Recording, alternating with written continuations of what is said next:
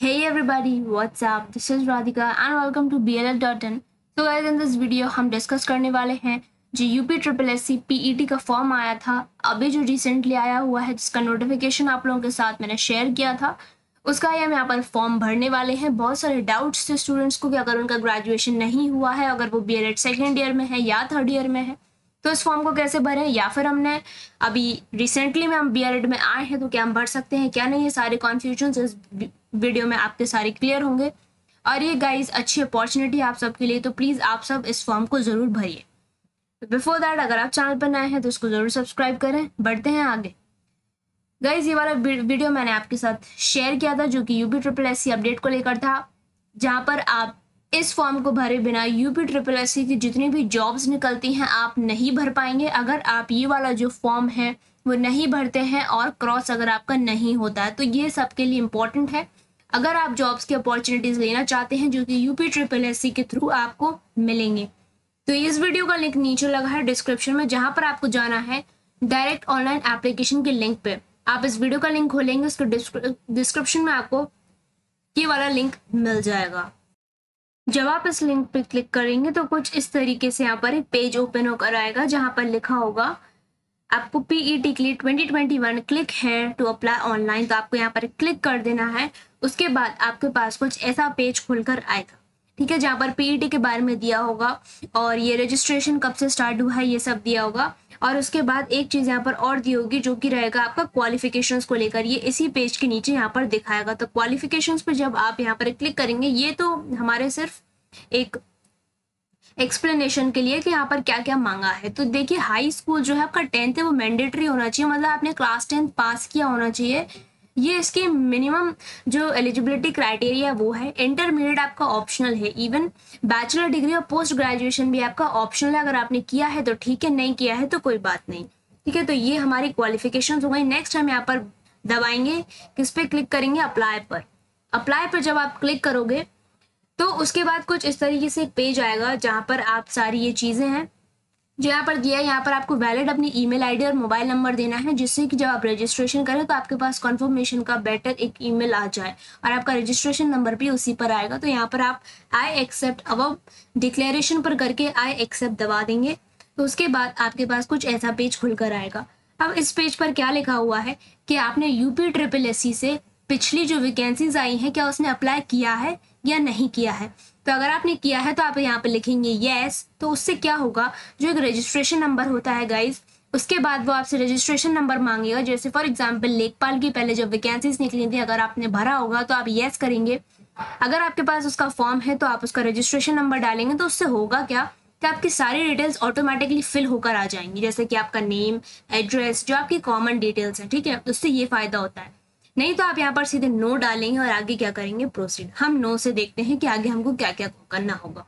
तो नेक्स्ट इस तरीके से कुछ पेज खुलकर आएगा जहाँ पे आपको रजिस्ट्रेशन करना है upload photo and signatures file remaining details और यहाँ पर आपको फ़ीस सबमिशन करना और एंड प्रिंट आउट निकालना। तो आप देख सकते हैं कुछ इस तरीके का फॉर्म यहाँ पर खुलकर आएगा।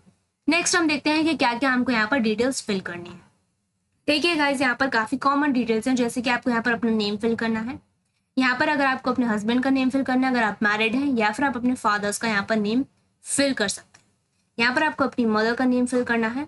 यहाँ पर आपको are you domicile of UP मतलब क्या आप यूपी के रहने वाले हैं? तो आप यहाँ पर करेंगे येस ठीक है, अगर आप रहने वाले हैं तो येस अदरवाइज़ आप करेंगे इसको no are you government ex government employ अगर आप किसी गवर्नमेंट ऑफ़िस में तो आप यहाँ पर येस लिखेंगे अदरवाइज़ नो लिखेंगे। आप अपना होम स्टेट यहाँ पर डालेंगे कि क्या है? यहाँ पर आप अपना डिस्ट्रिक्ट भरेंगे, अपनी कैटेगरी भरेंगे, अपना डेट ऑफ़ बर्थ भरेंगे। ये सब गाइज़ आपको सही सही भरना है। अदरवाइज़ फॉर्म क्या हो जाता है? गलत हो जाता है। तो इसको आपको रीचेक करना है और अच्छे से अपना जेंडर भरना है। आप मैरिड है या नहीं, ये भरना है। आपको मोबाइल नंबर भरना है करेक्ट मोबाइल नंबर यहाँ पर भरना है। सो so दैट आपको रजिस्ट्रेशन नंबर वहाँ पर मिल सके। एंड ऑल्सो ईमेल आईडी भी आपको वहाँ पर सही सही भरनी है। इतना भरने के बाद नेक्स्ट जो आपको डिटेल फिल करनी है, वो करनी है अपने हाई स्कूल की मतलब टेंथ की। यहाँ पर आपको अपना बोर्ड सेलेक्ट करना है कि आप आईसीएससी से हैं सीबीएसई से हैं या यूपी बोर्ड से हैं किस बोर्ड से आपने अपना हाई स्कूल कंप्लीट किया है। आपको अपना ईयर ऑफ़ पासिंग भरना है रोल नंबर भरना है और यहाँ पर ये भरना है कि आपका टेंथ में क्या ग्रेड सिस्टम चलता है। जैसे सीबीएसई में आपको ग्रेड सिस्टम पे मार्क्स मिलते हैं। तो अगर मिलते हैं तो यस और नहीं तो आप नो भरेंगे। नो भरेंगे तो यहाँ पर आपका ऑप्टेन मार्क्स पूछेगा कि, आपको टोटल मार्क्स कितने मिले हैं। तो सही सही भरिएगा यहाँ पर टोटल भरना है यहाँ पर आपको ऑप्टेन मार्क्स भरना है। परसेंटेज आपको नहीं भरना, वो अपने आप यहाँ पर भर के आ जाएगा। नेक्स्ट आपको इंटरमीडिएट भरना है। अगर आपने कर रखा है तो आपको इंटरमीडिएट की डिटेल्स भरनी है, नहीं तो नहीं भरनी है। अगर आपने सिर्फ़ टेंथ ही अभी क्लियर किया है तो कोई बात नहीं है। अदरवाइज़ आपको इलेवेंथ की भी सॉरी ट्वेल्थ की भी यहाँ पर डिटेल्स फिल करनी है।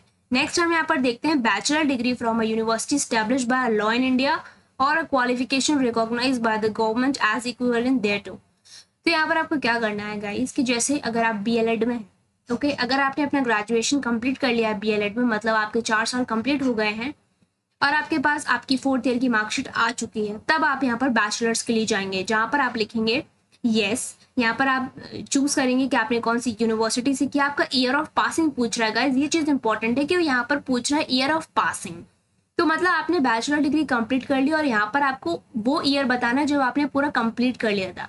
क्योंकि अभी अगर आप फ़र्स्ट सेकेंड या थर्ड ईयर में हैं या फोर्थ ईयर अभी कर रहे हैं तो आपको ये वाला सेक्शन अभी नहीं छूना है, क्योंकि आपने अभी बी बैचलर डिग्री आपका क्या है कंप्लीट नहीं हुआ है। तो सेकंड और थर्ड ईयर वाले या फ़र्स्ट ईयर वाले स्टूडेंट्स को छोड़ दें। इवन फोर्थ ईयर वाले भी जब आपका पूरा कंप्लीट हो गया है बैचलर या जिस भी डिग्री में आपने किया अगर वो कंप्लीट हो गई है, तभी आप इसको भर पाएँगे। तो अगर आपको कंप्लीट हो गई है तो आपको येस करना है। यहाँ पर आपको क्या करना है, कि जो रोल नंबर है, आपका सर्टिफिकेट नंबर है, वो लिखना है आपको, और यहाँ पर आपको अपने ग्रेड सिस्टम डालने हैं। नेक्स्ट यहाँ पर बात आती है पोस्ट ग्रेजुएशन की। फॉर एग्ज़ाम्पल अगर आप बी कर चुके हैं या फिर अपनी कोई भी डिग्री कर चुके हैं और आप पोस्ट ग्रेजुएशन कर रहे हैं फॉर एग्ज़ाम्पल मान लो आप मास्टर्स डिग्री कर रहे हैं एम कर रहे हैं एमए कर रहे हैं तो आपने अगर उसको पास कर लिया है क्लियर हो गया है आपका तो आप डालेंगे। लेकिन अगर आप अभी आ, आप कर रहे हैं अभी आप उसमें हैं ठीक है करेंटली आप अभी उसको फिनिश कर रहे हैं अभी हुआ नहीं है फ़र्स्ट ईयर में है या सेकेंड ईयर में तो आप इस ऑप्शन को छोड़ देंगे आप इसको नहीं भरेंगे ठीक है? क्योंकि अभी आपने इसको क्या किया है? पास नहीं किया है।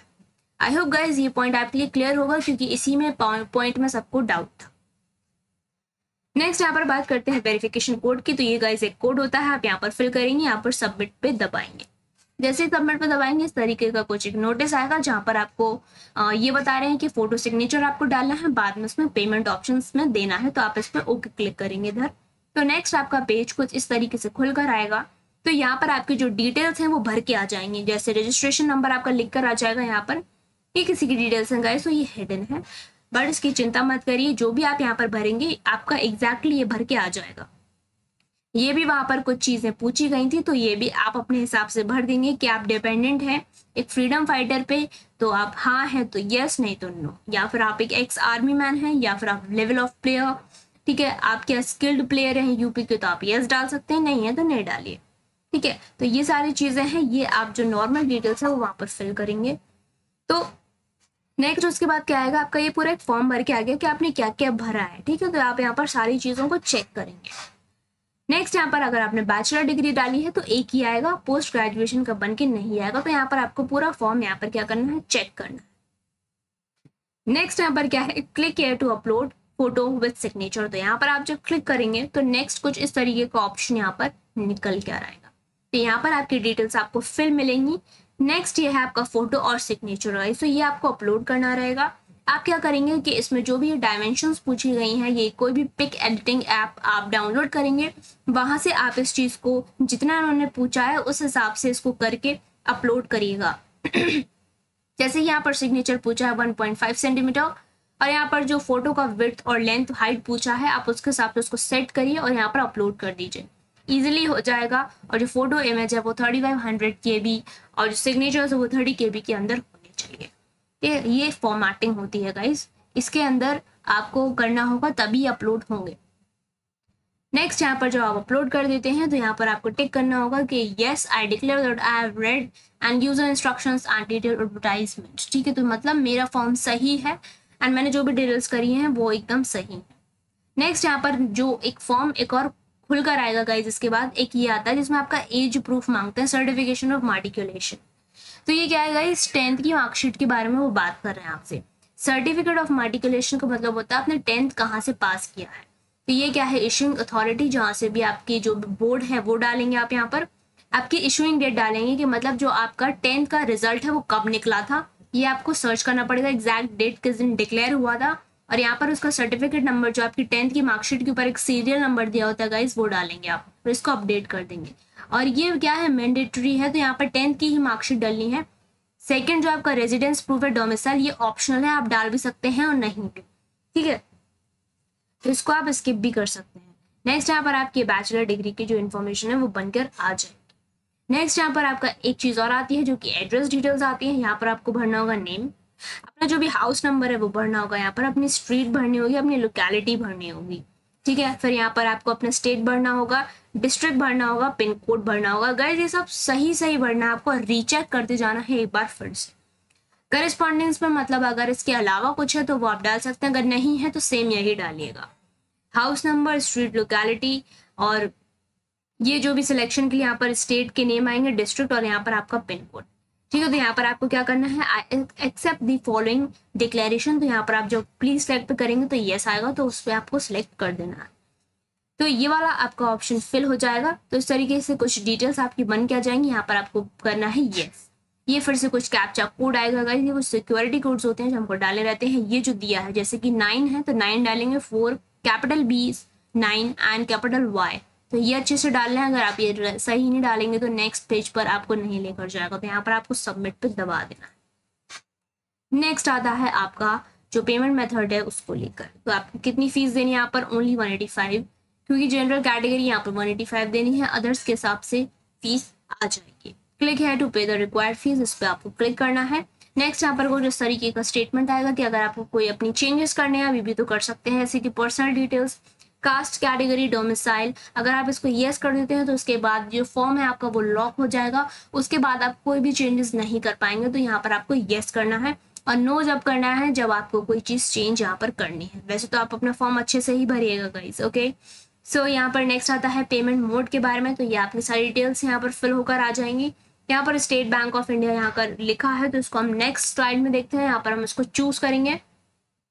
नेक्स्ट यहाँ पर प्रोसीड फॉर पेमेंट करेंगे, जब आप करेंगे तो यहाँ पर आपकी इस तरीके से कुछ डिटेल्स बनकर आ जाएँगे, आप इस ऑप्शन पे यहाँ पर क्लिक करेंगे ओके देन आपके पास ये और भी सर्विसेज़ आ जाएँगी कि अगर आपके पास स्टेट बैंक की सुविधा नहीं है तो आप अदर डेबिट कार्ड्स यूज़ कर सकते हैं क्रेडिट कार्ड्स यूज़ कर सकते हैं, या यूपीआई पेमेंट भी कर सकते हैं। तो यहाँ पर यूपीआई पेमेंट किया गया था तो आप यूपीआई पेमेंट जब कर देंगे कार्ड से पेमेंट भी करिएगा।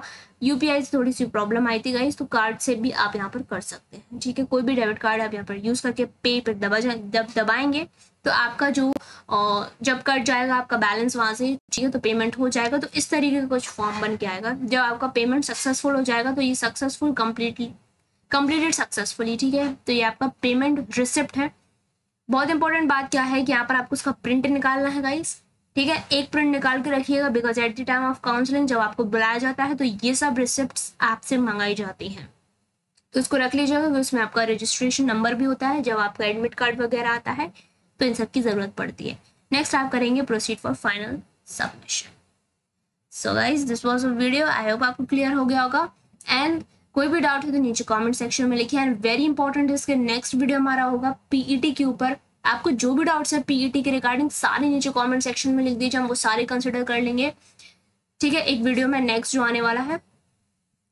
एंड फॉर्म भरने से कोई भी डाउट है तो वो भी आप नीचे लिख लीजिएगा, बजाय आप गलत फॉर्म भर दें। ठीक है तो कोई भी प्रॉब्लम है, नीचे ज़रूर बताएँ। सब्सक्राइब करें चैनल को वीडियो शेयर करें अपने फ्रेंड्स के साथ जिनको भी डाउट है।